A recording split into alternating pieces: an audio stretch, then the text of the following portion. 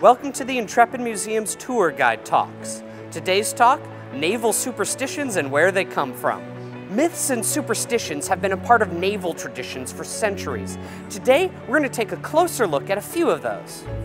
One of the greatest nautical myths is that of the Bermuda Triangle, a spot of ocean said to be located between Florida, Puerto Rico, and Bermuda. The triangle has been the location for thousands of ship and aircraft disappearances. I'm standing in front of the Grumman Avenger. In 1945, a group of five Grumman Avengers took off from Pensacola, Florida. Their direction was the Bermuda Triangle, and those five planes were never seen again.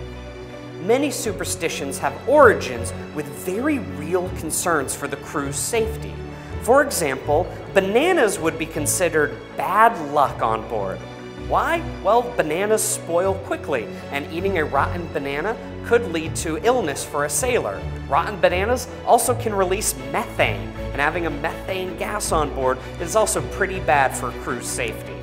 On land, a black cat crossing your path would be considered bad luck, but on a sailing ship, cats have been considered good luck for thousands of years. If you think about the practical purposes of having a cat on board, well, they can catch all sorts of rodents that will get into your food stores.